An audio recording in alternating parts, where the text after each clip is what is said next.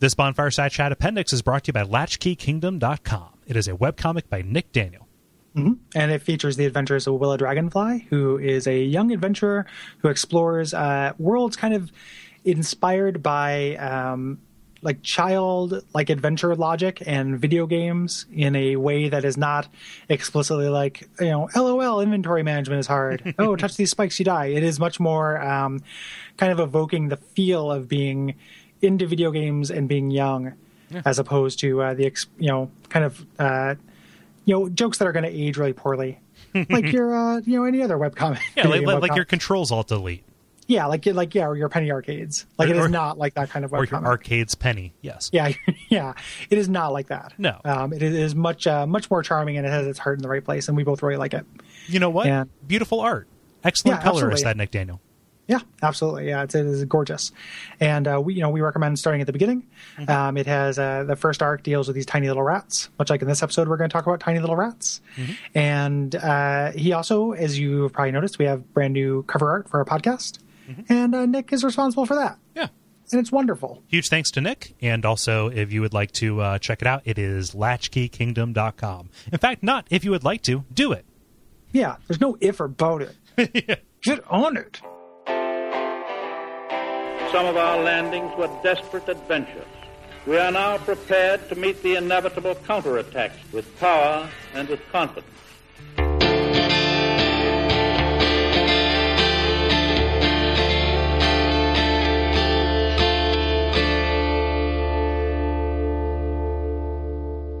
My name is Gary Butterfield. My name is Kole Ross. And I'm Dave Klein. And you're listening to Bonfire Side Chat Appendix. It is a cursed second favorite.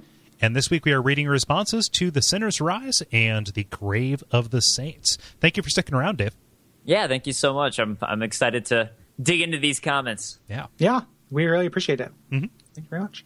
Um, cool. Why don't you get us started with uh, with Matt with a little bit of follow up from Huntsman's Copse? Yes. So Matt writes in via the contact form, which is at duckfeed.tv slash contact, saying, I have a bit of lore speculation about the curse pots after listening to the most recent episode. It seems like one of the few uses anyone anyone would have for pots full of curse would be to spread it to new people and places. If that is what they are being used for, then I could see the one in the Huntsman's Copse being there to turn regular people undead. Perhaps that might have been an extra twisted form of capital punishment, where the condemned people are made undead so their suffering would go on without end, rather than the whole being tortured to death that uh, pre modern justice systems brought us in the real world. Uh, I'm not sure if this idea fits with the placement of any of the other curse pots, but it does feel like something the old Iron King would do, since that guy is a bit of a dick. Just a little bit. Just a, just a smidge, smidge a of a bit. dick. Yeah, agree that he has a smidge dick. he, he's, he's, a he's a he's a yeah. he's a dick sliver. Yes, essentially that's why he's so angry all the time. He's trying to compensate. He's got a schlittle. Um, got a schlort. He's got a schlort. He's too I never short. know why uh, Mythos possibly. Yeah, yeah I, she decided snake snakedom is yeah. better than than that. um, yeah, that I mean that makes sense hmm. for the curse pot. It still doesn't. I still don't know why they are where they're at. Like that one in Amana really throws me for a loop. Mm-hmm. Um, but that does make sense yeah. as it being a, a, torture device here. Yeah, um, potentially, or even just as a weapon of warfare. I mean, flinging plague bodies over the walls of oh, uh, sure. castles for siege, right? Yeah, yeah, and, uh, that, and, that's a cool idea. And they seem to be, you know, designed to freak people out. Like they're instruments of terror. the fact that they laugh like that, you know. Yeah, it's, it's strange because like everyone's so afraid of the curse and trying to prevent it that, and it seems like they don't know how it began and how to prevent it. Yet they might possibly have a method of inducing it. Hmm. Yeah, which is odd to me or they could just get rid of these pots. yeah, like well, there's your we problem. Get rid of this thing. here's your problem. You got a bad Drop case them of all pots. the pit. Yeah, got a case of pot pit. Um, yeah. Thank you, Matt. Um, Zane says via contact. I have found a use for the contentious tree near the second bonfire in Huntsman, Huntsman's Copse, PvP. Most phantoms spawn on the side of the wall with a ladder, so you can lure them up there and onto the other side. While they jump down after you, you can navigate back across using the fallen tree and have an easy time sending them to their doom when they try to follow you.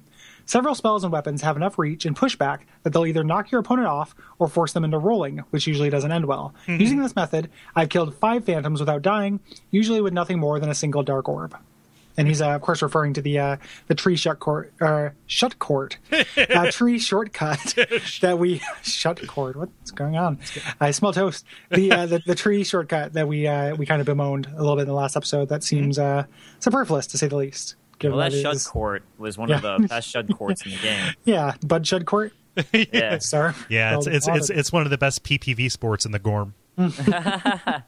It reminds me of uh, Peeve Peeverson had a great video where he was using, um, I think it was Dark Orb, where he was flying around the Dragon area and just using that so anyone who is on one of those hang uh, Zip lines? it- zip lines, a zip line would just fall off as soon as they knocked into it. yeah, and yeah, it reminds me of that. Just a great way to troll people, Yeah, yeah, for sure. which Hmm. I'm okay with. That's part of the game. yeah. Clearly. Um, yeah, Dave, do you want to take uh, the next one? Yeah, so Jeremy Greer writes in via contact. I wanted to point out one interesting thing about the Red Phantom guarding the entrance to the chariot fight. He's the only Phantom in the game rocking a level 1 Brotherhood of Blood aura. As y'all probably know, the more kills you get, the cooler your Red Phantom aura looks. All the other NPC Phantoms in the game have the standard aura, but this dude has apparently killed enough people to get up to level 1, which is really hard if you guys know that. While I'm here, I should point out how miserable getting these auras is. Unlike the Blue Bros, every loss is counted against a win when you're trying to level up as a Blood Bro. This means that instead of just needing 500 wins to max the Covenant out, you need 500 more wins than losses. Worse, invasions and arena matches are counted separately, which I can only imagine was done specifically to make Bro- Blood Bros hate themselves. It's a small problem that's indicative of a larger problem with PvP. A lot of these systems just weren't thought out all that well. I'll save these comments for a future PvP episode, though. Yeah. Hmm. Rather, I'll save those comments for a future PvP episode. I think he was telling me to save it. No, no, he wasn't. Yeah, you save those. Save it. Save it. Yes, yes, Cram save it. Cram it, Ross. Um, yeah. It is that sounds like insane Jeremy. to me how hard it is to get that, that aura. And he's got a good point about that Phantom. I didn't even notice that. Yeah, I didn't notice it either. yeah. Good, good observation, Jeremy. But yeah, that's that's kind of like that's what we were talking about in the previous episode with the with the Grey Phantoms and the Rat Bros and how easy it is to get through the Rat Bro Covenant. It really is the Blood Brothers that I think of, where it's like it is so hard to level up all the way in the Brotherhood of the Blood Yeah, because of this. It just takes so long, and you have to be really good too. On top of that, because yeah, you you win 500 times, but if you lose 250, you still need 250 more wins. yeah. I'm not nearly good enough. That. Yeah. Like I've spent some time blood brewing, but I'm not great at PvP in this game. So the uh, I've not, I, I think ranking up in that will be forever outside my reach. Yeah. Sadly. Dun dun dun. Womp womp. Thanks, Jeremy. Yeah, thanks, Jeremy. Yeah. Ryan writes in via contact saying, I always believed that the, uh, the artificial undead were specifically created to be hunted. It stands to reason that, with the undead curse being so pervasive, eventually the population would dwindle to the point where there just aren't enough undead to be corralled and hunted. Thus, the artificial undead are exactly that artificial, and were meant to give a bit more challenge to the hunters and the cops. That's interesting. Yeah. Yeah, I, I never considered the idea that maybe there weren't enough undead for it, you know, to where the, the pursuit of sport actually took over, Yeah. you know, as the primary concern. And that comports with the idea of using the curse pots to uh, to transform people. Yeah. Too? I guess you only really find the artificial undead in those two places, the Huntsman's Copse and the Earthen Peak. Or not the Earthen Peak, uh, Harvest Valley, rather. Yeah, I think those Well, are the only you, places. You find their weapons in, in uh, Aldia's keep, which is why you know we think that Elvia made them. Right. Um, but uh, yeah, that's those are the only two places where you actually find them. Yeah. Yeah, I don't know. That's that's a good question though, because again, I, I don't know. I mean, because you go into the undead purgatory and there aren't any, and that really seems where like they. Well, that was more of where the torture was as opposed to the game. So yeah, Yeah. Maybe they Yeah. did, but that would have been.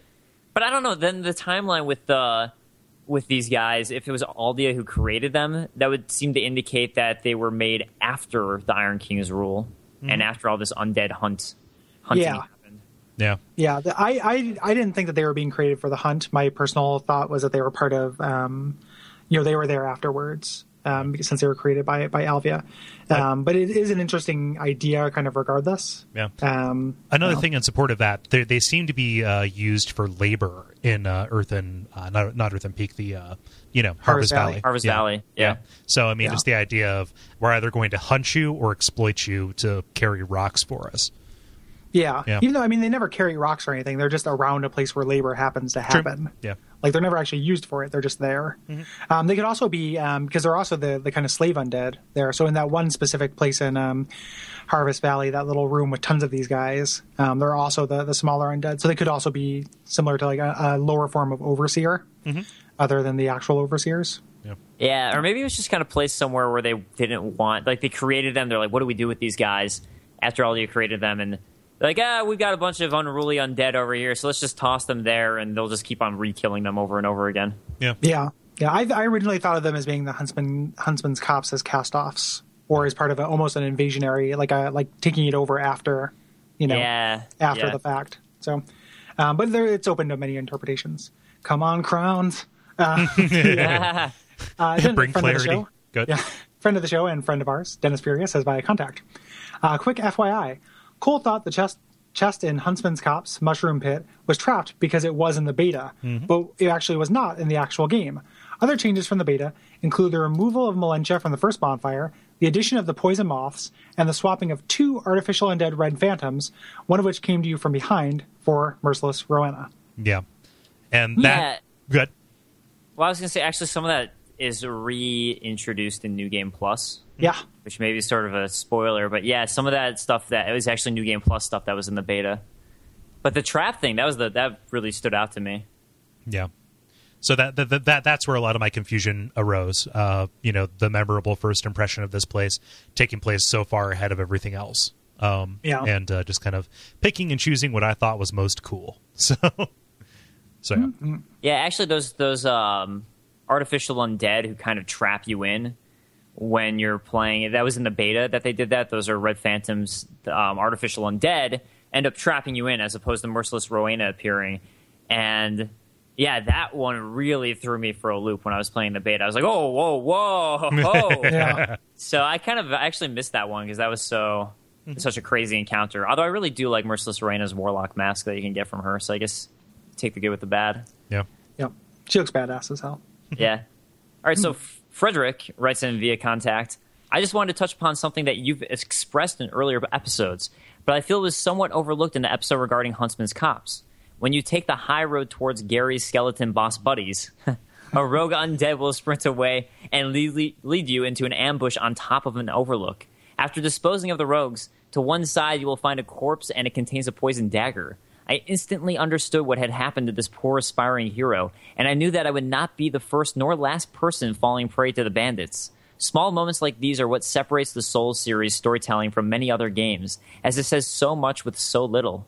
I like these touches. It makes even the most minor of details paint a bigger world. Mm-hmm. Yeah, I guess I didn't think about the fact that you're looting the poison knives from that guy, that you're just pulling them out of his back. Yeah. yeah. Also, Gary Skeleton Boss Buddies. That's a good name for a gang or a band like a or something. It's like Jerry's kids. yeah. yeah, it's It's like it's like it's like Gary's kids, skeleton boss buddies. yeah, collect money for it's like the Richard Dunn's uh, "Give Us Your Bones" thing from Tim and Eric. when you walk through a store made of bones, hold still your wanna skull up see- high. So- I want to see like a sitcom or something with the, where it's called Gary Skeleton Lords, and then it's that show idea that you had last week where they're all like going up to some hosts, they're hosting or like they're they're presenting a show and they're coming up from backstage and it's about their backstage life. Like, what are they really like? the behind the scenes oh, documentary about the skeleton lords. yeah. Mm-hmm. I would also like to see that show. Um, thank you, everybody, for your errata. If you have errata about the episode that we uh, just recorded, our Sinners Rise and uh, Grave of the Saints episode, again, that address is duckfeed.tv forward slash contact. Uh, moving on to some responses to those areas, we have uh, Solomon. Yeah. I would like to read Solomon? I, I will take us away. Solomon via contact writes, I had a hell of a time dealing with the water giants, being a wimpy little sword and sorcerer. Uh, my soul arrows did almost no damage, and using melee meant getting up in the giants' horrific ass faces and braving huge sweeping attacks that I couldn't quite get the, do- the dodge rhythm down for. At one point, um, I uh, was retreating back into the elevator room, and I rolled backwards over the lift. Great, I thought, watching it disappear into the ceiling. I have no means of escape, and now there's this big hole to fall into. As I kited the giant around the little space uh, that remained, uh, he did a tail sweep and fell into the hole, dying immediately. This became my new strategy. I would pull giants and run them around the hole, baiting them into throwing themselves down the elevator shaft, sometimes managing two or three at once. Wow. Eventually, I cracked the code uh, and could take them uh, on in a more honorable fashion. Uh, but I would have kept using the Bilbo Baggins method forever if uh, if it was quick enough. And of course, it wouldn't be Dark Souls if my victory against the giants wasn't cut short by an inexplicable exploding mummy. Yeah. Indeed. even even with a stronger build, um, those things are hard to fight, and the water doesn't help. Yeah. Um, I tend to take them up by the elevator, even if I'm not cheesing them, uh, just because I can run at full speed up there. Yeah, their, their resistances uh, they, they they never get easier. Yeah. Yeah, I mean, I'll roll past their first attack to get to their back and then backstab them, and it usually works pretty well. But it's still, they hit you once. That's a heavy hit. Yeah. Those guys hit Yeah. hard. Yeah, Yep, yep. And and and God help you if you get far enough in to aggro one of the exploding mummies to come and uh, and fuck you up Yeah. during the fight. Then you got both of them at you at once. Yeah. just like no, no, no, no, no. no, Yeah, no, no, yeah. no, no. Yeah. Yeah, so yeah, thank you very much. Um, David says via contact, I love the Lost Sinner fight. In fact, I love this fight so much that I turned around and tossed a bonfire ascetic into the fire and did it again. Something about that Artorias one on one duel style where blocking will almost certainly get you killed just called to me. Two hand your weapon, get your roll on, and duke it out. I felt betrayed by the presence of the Pyros in New Game Plus, who don't spawn a new game, new game with an aesthetic. Uh, get the hell out of my duel. Also, the sweet, sweet lore implications. Yeah. Yeah, We that's, yeah. that's how I did was two handing. So I liked dodging as well. Yeah, and we'll talk Yeah. more about that fight in the new game plus episode. Uh, mostly just kind of bitching about how hard it is because Yeah. it, it is really hard at the, that those those Yeah. additions. They actually toned it down with one of the patches. I saw that too, and and that's uh, one of those things. It's interesting the the kind of transient nature and evolving nature of these games. Where like, no, you know, people now like our kids will not experience Shrine of Amana the way we did. You know? Like, it's like that that's gone. It used to be our We'll playground. never and- know. Kids Yeah. those days. Yeah. I'm gonna always have an unpatched version with me for my kids and my Yeah. grandkids. Put it in a time capsule. Yeah, When I was your age, I had to trudge through Shrine of Amana, and they were homing the arrows. Yeah. Well, I know they're still homing now, but they were really homing. They were really homing, and I had to trudge back and forth through homing soul mass on the way through and from. Grandpa, I'm we have brain chips. We can plug into a into a cyber world of pleasure. Yeah, Grandpa, we, get out of our singularity. I have access to the world media. we take space drugs. Yeah. we, we live in pods of goo. Like, come on. But let me tell you about the recession of the early 2000s. Oh man. So Zane via contact writes in regarding the water giants and sinners rise. Yes, you can trick them onto the elevator, and yes, it is hilarious. I haven't been able to keep both myself and him on the elevator for the whole ride up, but it should be possible. Perhaps with Yearn. I wonder how far you can aggro him back through the level. Maybe lock him into one of those cells in the Bastille. That's a video. Make that. Get That'd in be the really chat. it absolutely is. Yeah. That's also commitment. That's a huge commitment. yeah. Well, later in um, in the Sodora, Sodora, where you have to lead that pig Mm-hmm. down to the, the church, like um, Mm. you know, who knows what what weird fucking super hidden Easter eggs there are if you lead an enemy to an entirely different area. And you get that really useful pickaxe. Yeah. Yep. Yep. Yeah. That's a lot for you. It really, like, you guys are King's Field guys. I was thinking, like, when I found out it was a pickaxe, I was like, what, what if? What if it's like Yeah, ancient it breaks city? open? Yeah, Yeah. it breaks Now- open like this this wall. now to test Yeah. every single wall. every piece of geometry. It's going to unlock something secret in the DLC. Hmm. I just know it. God, I hope.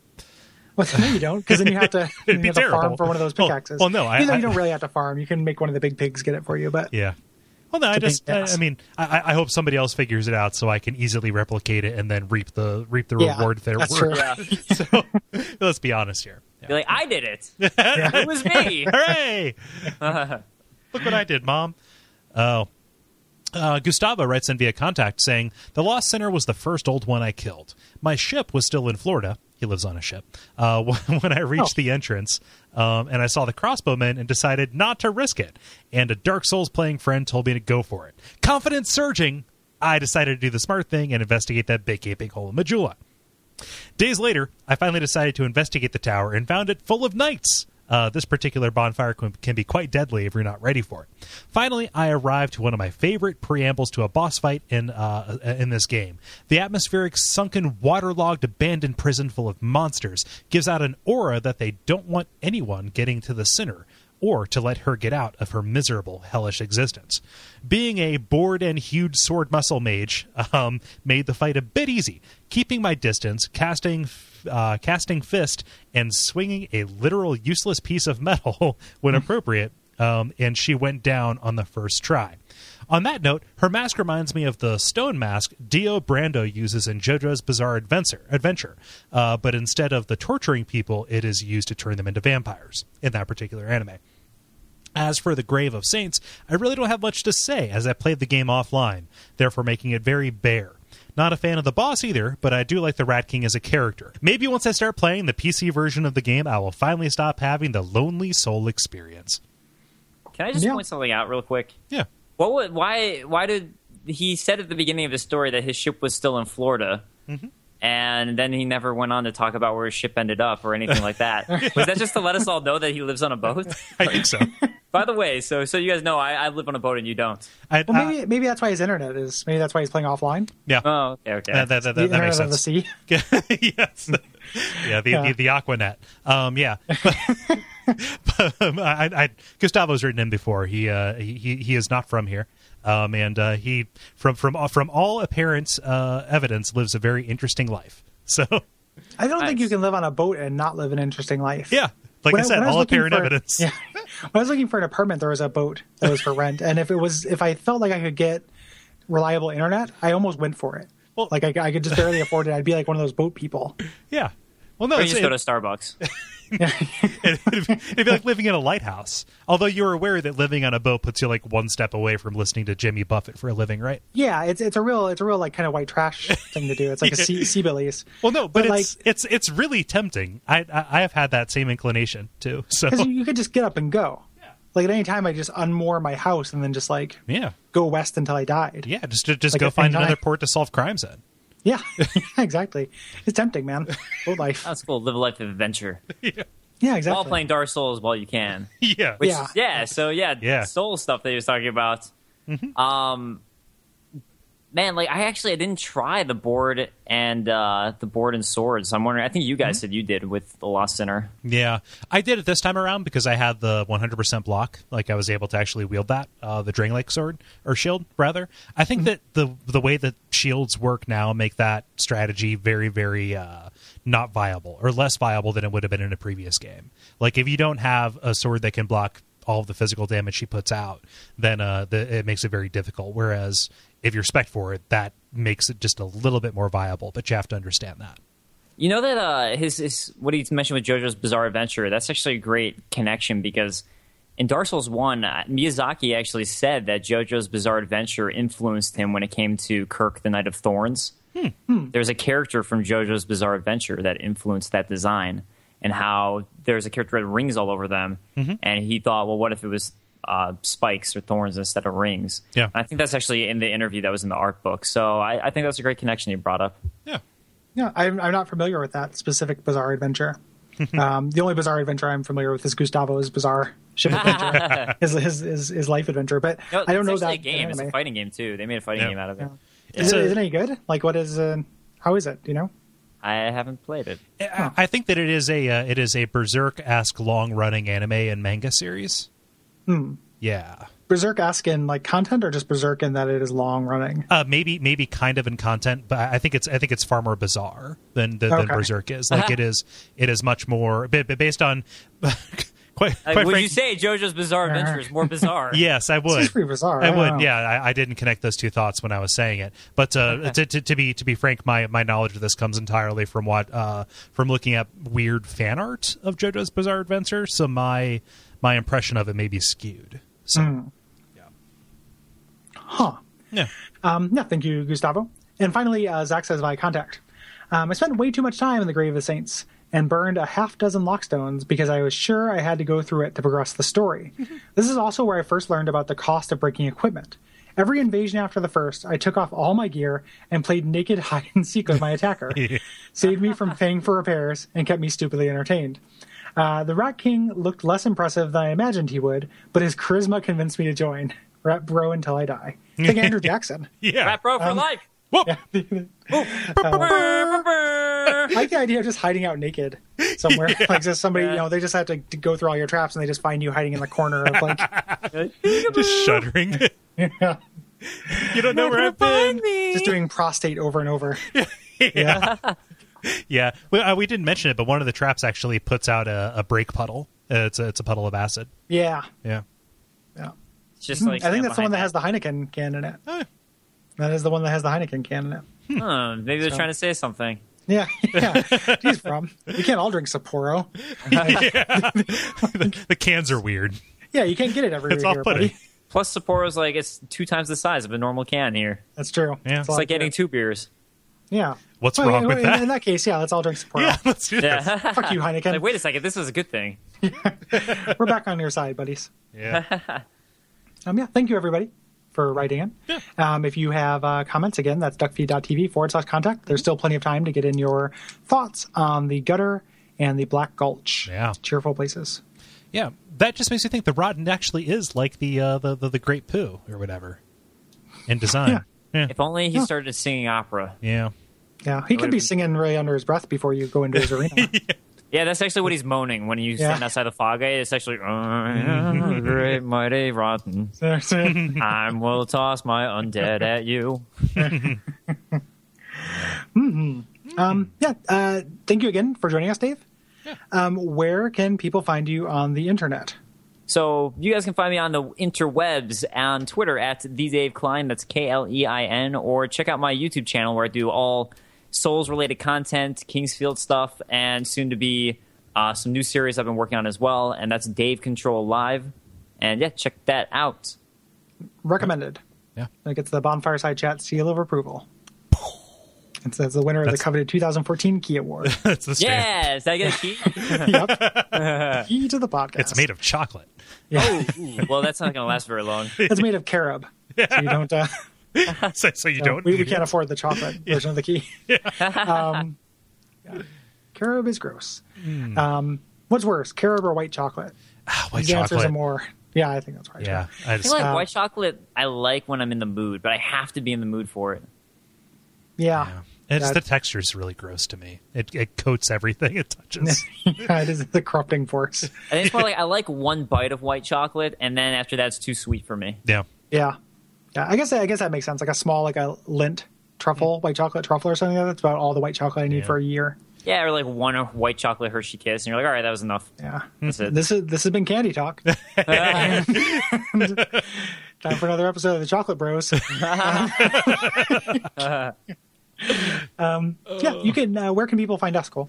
People can find us. Uh, we have a very strong Facebook presence, uh, if I do say so ourselves. no, it is uh, facebook.com slash bonfireside chat. Join the conversation. Uh, we have a website. This podcast is part of a network. It is the duckfeed.tv network of shows, uh, where we have uh, such great shows as uh, Watch Out for Fireballs and Abject Suffering. Great in our own opinion. You can be the judge of that if you would like.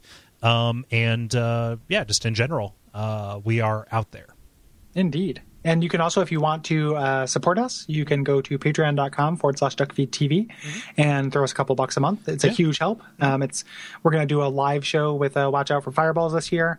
Mm-hmm. Uh, that's going to be funded. And, uh, you know, Bloodborne, we're going to have to buy PS4s at some point. Yeah. Not saying we're not holding you hostage. We're not saying you have to buy us PS4s. Mm-hmm. However, we both had no intent to buy one of those, and now we have to get one. It's Yeah. going to be expensive. So a little bit helps. We're not looking to fund Yeah. the entirety of a PS4 Yeah. based on Patreon, but a little bit would help. Yeah. I think I've Um, been leaning towards Xbox One a little bit, and then this E3 happened. I'm like, mm, looks I, I hate PS4. console exclusives. Yeah. It's so it's so bad for games as like it's a such medium. a bad force. Yeah. Yeah, Actually, I think it's great for games because it makes it compet- competition. You think so? I, it's great for platforms. I think it's great. It's, it's not great for like it's great for uh, console developers, but I don't like it as like a what it does for the actual game as like a work of art. You know? Yeah, I guess like what I, I guess the issue is when when people get so fanboy over their console because of specific games. Mm-hmm. That that's more what bugs me, but I feel like it helps induce that element of competition. it's that- probably yeah. Because someone else is going to be like, well, now I have to make a good exclusive to compete with that. Yeah. Yeah, maybe. I, I mean, I guess like it is definitely good from like a business kind of perspective, but I don't I don't like it so much from an art perspective. Yeah. The, the the only way that I think it helps the actual game itself is if the designers can know the hardware that they're developing it for. Mm-hmm. And so, as opposed to making compromises like let's get this thing to run on every system, they can you know cater it specifically to the system, a la a Last of Us, or uh, you know Sony is really good at that. Or the Uh, really good Dark Souls PC port. Yeah. Yeah, Yeah, that one was really yeah, good. Yeah, well, they, they but the, the nice thing is to, to, to counter that point though, like the uh, when you put something on PC, like PC players will fix it. Mm-hmm. You know, like it, it will just it will just work. Like and also will know things about it. Like guys like um, Illusory Wall and stuff. Mm-hmm. Like it is so much easier for him to, to data mine something that is on uh, on PC. So so just that Yeah. so just Yeah, sell yeah. this thing for money and rely on free labor to make it work. or like Hellkite Drake finding all those hidden files. Yeah, totally. Like I, I love that stuff, and it's just much harder to do on a on a console game than it is on a, a open you know, on Yeah. an all platform game. I love all that cut content. That's awesome. That stuff's great. Yeah. Yeah, yeah, it's fantastic. We, we we've got a little something planned for later in the year, Yeah. um, regards to that. So, um, yeah, Uh, as as a little side note on that, if you uh, you know don't have the resources to uh, to donate to the Patreon, but you're still going to be buying stuff on Amazon, we do have that uh, tip jar link. It's duckfeed.tv slash tip jar. Use the Amazon link on that, and uh, we get a kickback, and that is still a uh, a huge portion of where we get the money to run the show. Is through that that's where you'll link. get. That's So, where you guys should get your PS4s Yeah. for Bloodborne and your copies of Bloodborne. Uh, yeah, and uh, I think that's that's probably good. Uh, thank you again, Dave. For sticking around. Chocolate really Bros out. Yes. this episode of Chocolate Bros is on the way out. This episode of Chocolate Bros is brought to you by LatchkeyKingdom.com. Chocolate rain. That's our theme song. I wasn't just making a meme. Chocolate rain. Bah, bah, bah, bah, bah. That is our. That's the theme song of the Chocolate Bros the podcast. Yep. Sunshine and lollipops and um, yeah. Deleted scenes? yeah.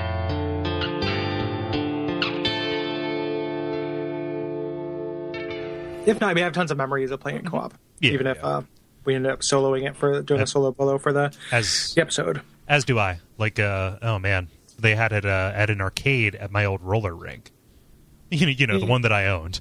Yeah. Back before times got lean. what is the what is the name of the the Japanese version of that? Like uh, Contra in arcades, like whenever I see something from the soundtrack, it always Yeah. says something different. Nicaragua attack. Yeah, Um, something, something like that. Yeah, yeah, Ma- McNamara, McNamara's legacy. Uh, let's see. McNamara's ambition, Yeah, um, McNabunga's ambition. Magnabunga. That's like, Yeah. that- like that sounds almost like a uh, like like a rejected Dead Kennedys uh, album. Magnabunga. How long you guys been doing podcasting? Uh, separately since about 2007. I think we both uh, started separate, and then uh, uh, Gary and I uh, met up and started doing shows together in like uh, 2011. Okay, cool. Yeah, Yeah, so a long time then. Yeah. yeah, yeah. It I, adds I up. guess it is. In internet time, it is a very long time.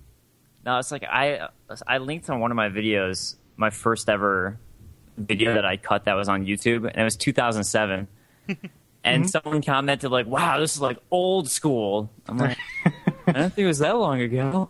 Well, I was I was thinking about that. Uh, I'm I'm going back. I'm listening to uh, to You Look Nice today. It's one of the podcasts that got me into podcasting, um, or at least in the form that I, that that, I, that I'm in now. Um, and uh, thinking like, oh, this is like 2007. It's like like that's just a shade under a decade. Yeah, Well, like we're we're coming up on when that thing was 10 years ago. So I don't I don't know if it's just the way that I live my life is conducive to losing large stretches of time what with the drinking and the sadness but like it's like oh wow that's actually pretty that's a that, that's a stretch we've been doing this and yeah. I think it's just getting older, you yeah, know. that's true And we're, we're all alive. slowly rotting yeah, Yeah, as we march grimly towards death. a Let us consider diversion this. Jeez. consider this series of games. I got a, I, got- I got I got it. Not not not to be grim. Sorry, no, but I got I got an email from somebody at work who uh, their their uh, email signature like instead of having a little uh, you know like Jack Handey quote at the bottom in italics, it just said "Memento Mori." it's like okay, cool, I guess. Yeah.